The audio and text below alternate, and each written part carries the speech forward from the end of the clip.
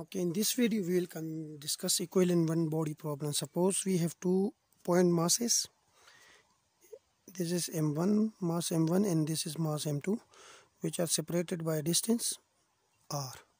Or the r vector is this one. And suppose we have an origin here and the distance from origin o to mass m2 is r2 and the distance from origin to mass m1 is r1 so the direction is here. Now by head to tail rule of vector addition we have r2 plus r is equal to r1 r2 plus r is equal to r1 or from this we can write r is equal to r1 minus r2 now according to newton these are two forces okay two masses okay and if two masses are separated by a distance r from each other then there is a force of attraction between these two masses which is given by force of gravity which is equal to g m1 m2 over r square. Now according to newton third law mass m1 exert a force on mass m2 and similarly mass m2 exert a force on mass m1 so if F12 is the force exerted by mass m2 on m1 and F21 is the force exerted by mass m1 on m2 now according to newton third law these two forces will be equal in magnitude. F12 is equal to f21 but opposite in direction. The negative sign show that these two forces are in opposite direction. Let's this is equation 1 and this is equation number 2 so the force f21 is this one in the force f12 is this one the direction. Now there is if we suppose that there is some external force acting on this system two body system F external then this external force will be applied on this one and also be acted on this particle also. So if I say that F1 external F1 external is the external force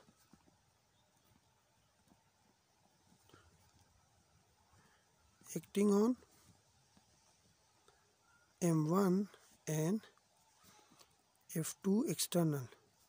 Is the external force acting on M2 then the total force acting on M1 mass M1 is is the sum of two forces now. One is F1 external plus F12 internal. And we know that force is equal to ma produce acceleration. So this will be equal to m r double dot. So if it's mass m1 so we have m1 and the distance is r1 and we have double dot. So this is the acceleration in mass m1 and uh, we can write m1 r1 double dot is equal to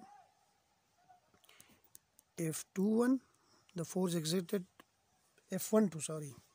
The force exerted by mass 2 on mass m1 plus f1 external. We have this equation which is equation number 3 similarly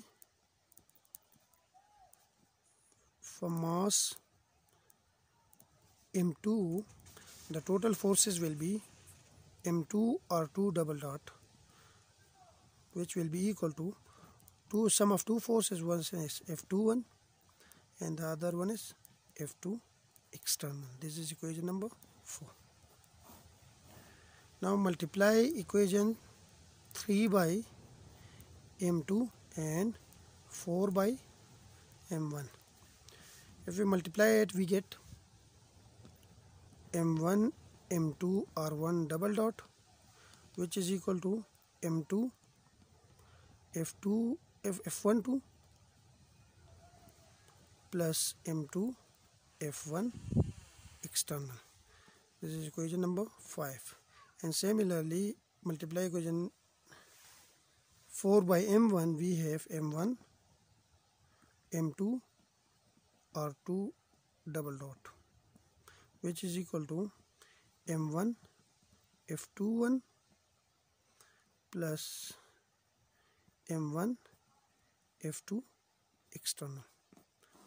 This is equation number 6 now subtract equation 6 from 5 we have. If we subtract we get this is m1 m2 r1 double dot and then we have minus m1 m2 r2 double dot which is equal to m2 f12 minus m1 f21 plus m2 f1 external minus m1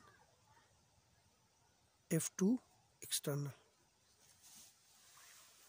uh, if we rewrite this equation we have this one. Uh, we have this expression. Sorry. if we rewrite it we have this relation we have m1 m2 common in these both factors. So we have r1 double dot minus r2 double dot is equal to m2 f12 minus m1 f21 plus m2 f1 external minus m1 f2 external. But we know that f12 is equal to minus f21 so if we put it here we get and also r is equal to r1 minus r2 if we take double derivative of this position vector r then we have r1 double dot minus r2 double dot. So this will be equal to m1 m2 into r double dot from this expression we put it here which is equal to m2 f12 and we have minus m1 f21 is equal to minus f12 so we have plus m1 f12 and we have plus we have this two factor so I will keep m1 m2 as constant. So here I have f1 external over m1 minus f2 external over m2 so or we can write m1 m2 or double dot is equal to m1 plus m2 because f12 is common here so we have f12 plus m1 m2 f1 external over m1 minus f2 external over m2 now f1 external acting on mass m1 will produce acceleration a1 similarly if f2 external force acting on mass m2 then it will produce acceleration a2 or in other word we can say that f1 external over mass m1 is equal to r1 double dot. For acceleration I have r1 double dot and I bring this m1 to this side. And f2 external over mass m2 is equal to r2 double dot. So this is the acceleration in mass m1 and this is acceleration in mass m2 now the body is a rigid body. The body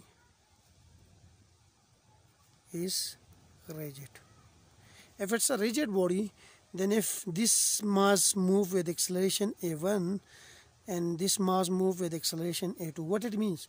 It means that both masses move with same acceleration so a1 is equal to a2 because rigid bodies suppose we have a ball and we divide the ball into two parts but they are still a part of the same ball. So both parts will move the, with the same acceleration. So a1 is equal to a2 a r1 double dot is equal to r2 double dot.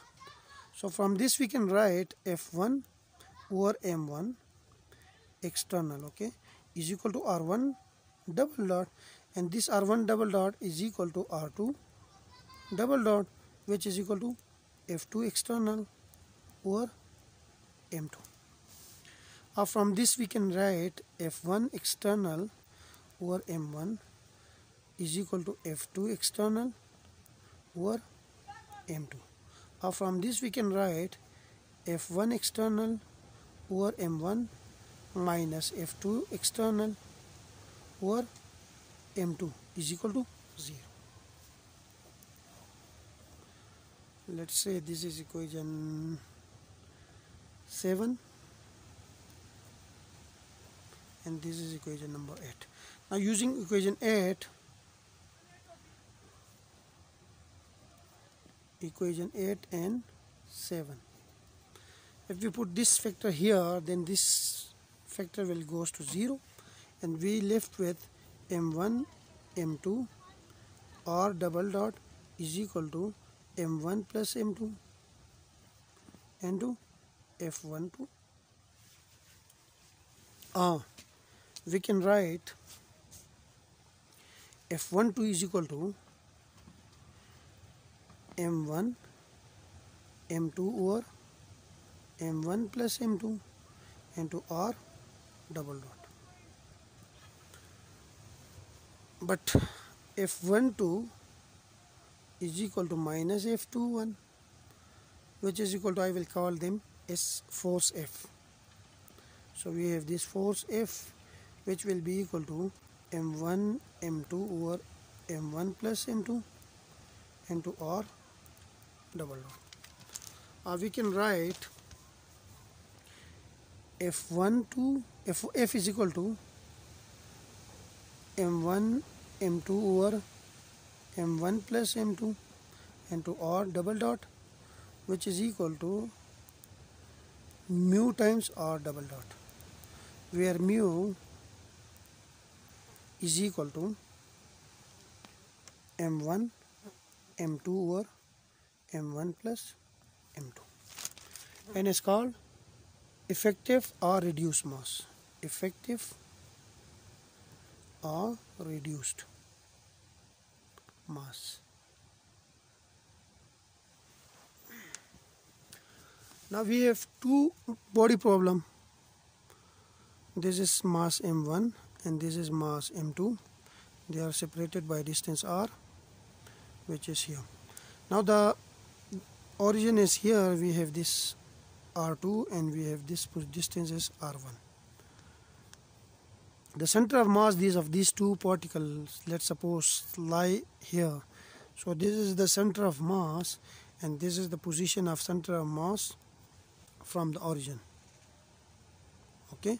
Then this position vector r is can be written as m1 r1 plus m2 r2 over m1 plus m2 so this is the position vector now if m1 is very greater than m2 suppose this mass is bigger than this one then mu can be written as this effective mass can be written as m2 over 1 plus m2 over m1 uh, this can be written as m2 over 1 which is m2 so mu is equal to m2 and r can be written as r1 over m2 plus r2 over m1 which is equal to r1 over m2 plus 0 because m1 is very large.